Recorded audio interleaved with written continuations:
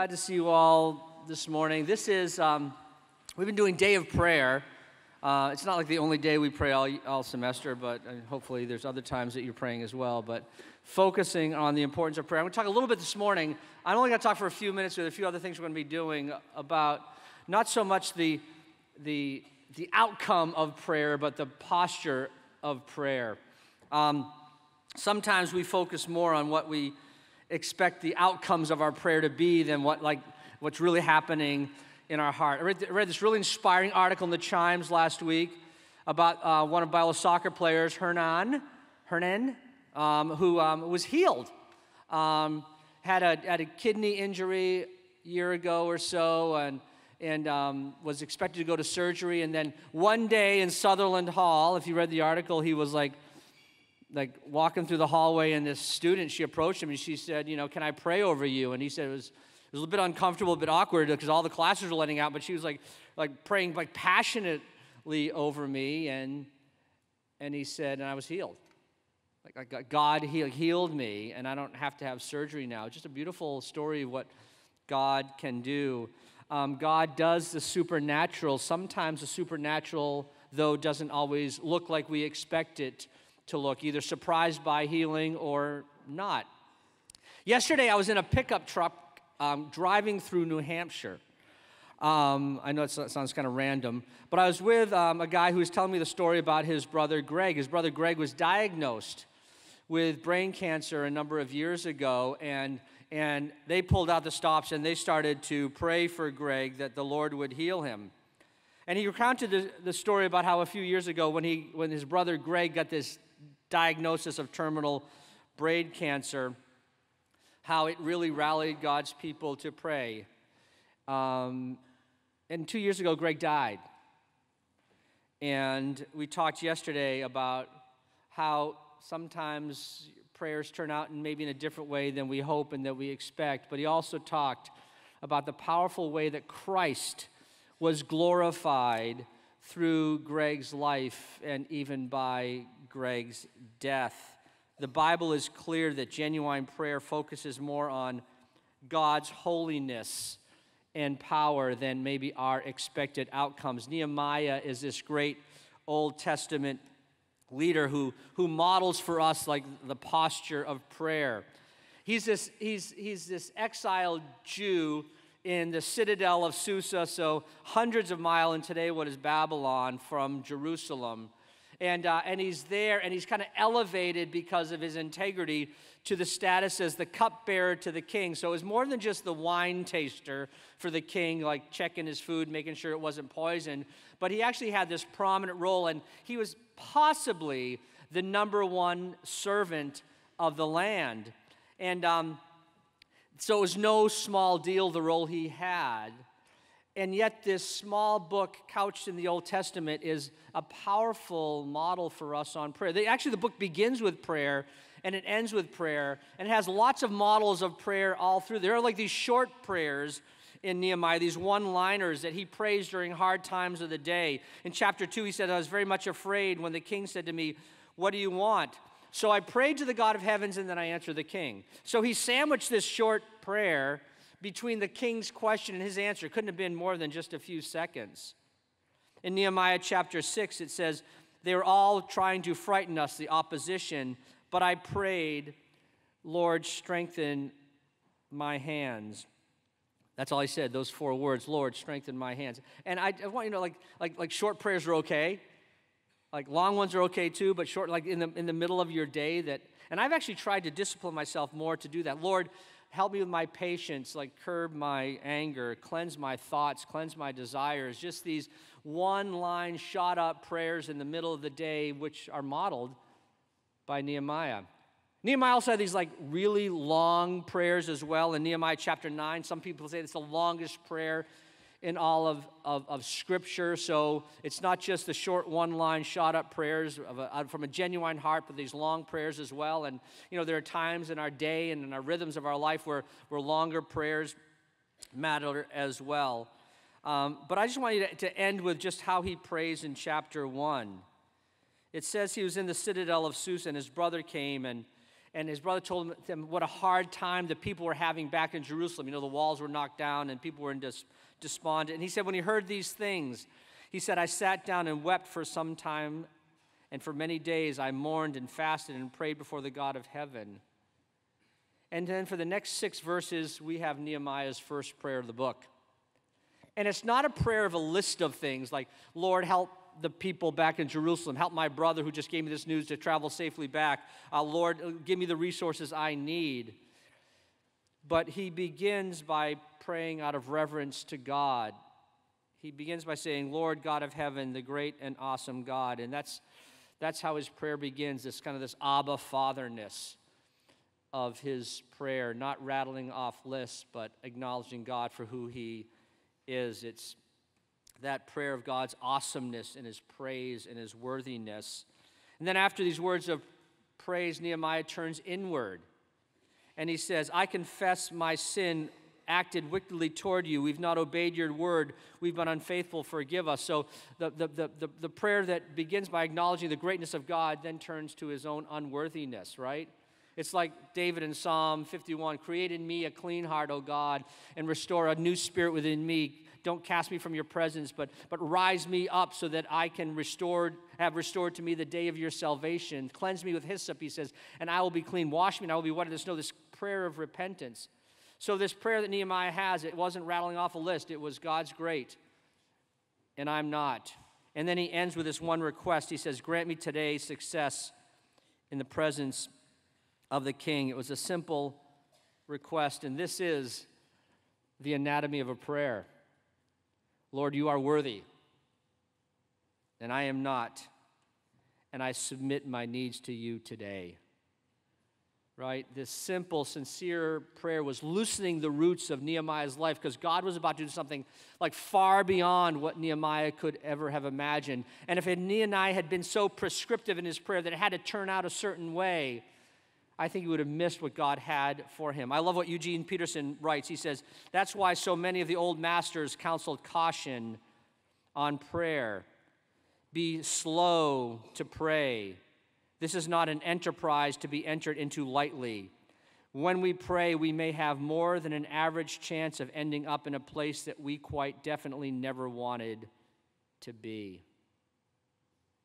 Remember, Nehemiah's prayer wasn't about his wants, it was a prayer that said, Lord, you are worthy, and I am not.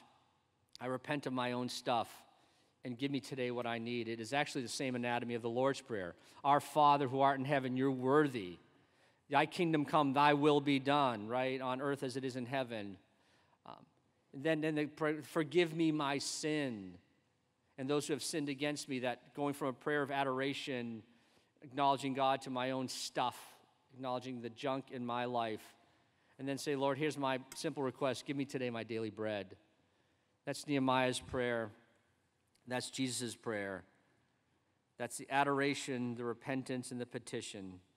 And this is how Nehemiah prayed and how we ought to pray. And genuine prayer focuses far less on outcomes than it does in what God is doing in our heart as we focus on His holiness and on His power. And I can guarantee you that your prayers, when you pray that way, will take you to places you never imagined you would go. And it would be that abundantly, exceedingly above place in your life if you just allow yourself to pray boldly that way God, you are worthy. I am not. Give me today what I need to make it through this day because I trust you. Biola students, be students who pray with boldness and confidence. And now join me in welcoming our SMU president, um, our brother Liam. Hey guys, thanks for coming here to the day of prayer. Um, I don't know where you guys are all at, whether you're tired, busy, exhausted. I've heard a lot of common themes of that the past few days. Myself, I'm exhausted, I'm tired, I'm weary, um, but very grateful that you guys all came out here to pray. That's what today's about. Um, so, yeah, a verse that encompasses what today is about, as well as what uh, the Student Missionary Union desires to do, is Acts 1 8. Acts 1 8 states, But you will receive power when the Holy Spirit has come upon you. And you will be my witnesses in Jerusalem and in all Judea and Samaria and to the end of the earth. So today we're going to be spending a little time praying over those four main areas. Uh, I know many of us, maybe from different parts of this country or from the world for that matter, um, but right now, in this season of life, we're Biola students. This is our Jerusalem. So we're going to be praying over here. This is our Jerusalem. so, um, Jerusalem, what is Biola's Jerusalem?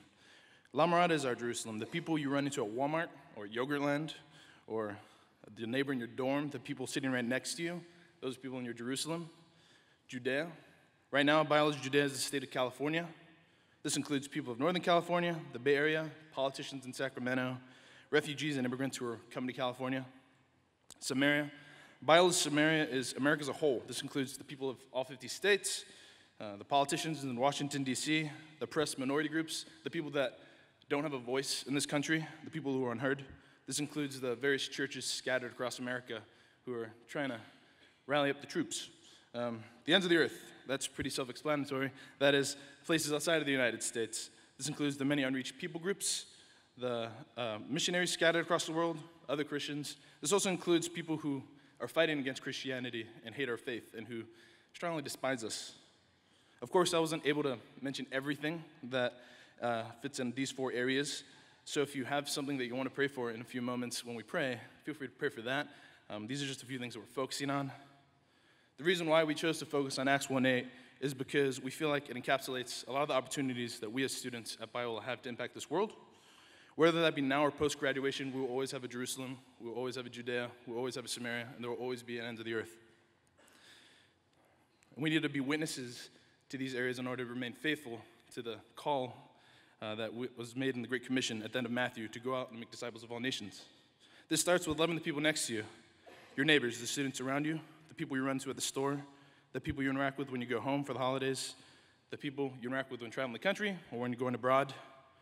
And I, I know that this may be uncomfortable at times, loving your neighbor or loving the people around you, uh, and I understand this, but uh, it may be out of your comfort zone to talk to a stranger, but we have the opportunity now to pray for those things, to, to pray for these areas and pray for yourself. So, in the next few moments, when you are praying, make sure to pray for your heart, that God will open you and uh, help you understand what it means to be a witness and love thy neighbor. So, for today, we're going to be getting into groups of three or four, praying for these areas. On the screen will be prayer prompts to help guide you through the prayer time. There'll be no one telling you to move on to the next thing. So, if you're praying for Jerusalem the whole time, feel free to do that. Um, I want to encourage you to take this time to truly be invested in prayer, like Dr. Corey just talked about. This is a very important thing that we need to do. And if you haven't noticed, this country is in a lot of chaos right now, and a lot of stuff's going on. And we need to be praying for this country as well as ourselves in our hearts as Christians more than ever. So I want to encourage you to be present and take this opportunity to be serious. I want to open in prayer. We're going to start the video, and um, y'all going to begin in groups and praying. And then our Vice President Keaton Kerr will come up and close and give a few announcements. So let me open in prayer.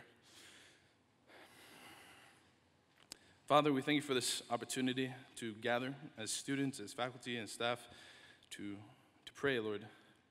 Um, these four areas are Jerusalem, Judea, Samaria, and ends of the earth are, are important, and you care for everybody in those areas.